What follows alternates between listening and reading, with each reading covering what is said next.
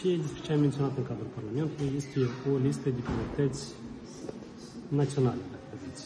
Ele urmează a fi discutate, urmează a fi puse în discuție în cadrul serviciului, împreună cu alte instituții din, din Republica Moldova și vom veni cu o listă mai largă de priorități de reformă atunci când va fi cazul. Acum trebuie să merg, urmează o perioadă de tranziție, împreună cu domnul Săulicu trebuie să trecem în locul respectiv, să facem uh, de la postul director la nou și, din păcate, trebuie să fie. Cine v-a propus această funcție, mai exact? Așa cum scrie în lege, doamna președinte, președintele Republicii Moldova este cel care face propunerea în adresa președintelui, în adresa Parlamentului. Ați fost uh, con- contactat de cineva de la președinție? Cum, cum se face aceasta? Așa cum iarăși scrie în lege, președintele Republicii Moldova a venit cu o propunere în adresa Parlamentului, desigur că prealabil discutând uh, cu mine acest. Sunteți în afara sistemului. Nu vă temiți sau nu aveți um, așa îngrijorare că nu veți fi acceptat de acest sistem și că va fi greu să veniți? Eu cred că este prematur să ne gândim la asta.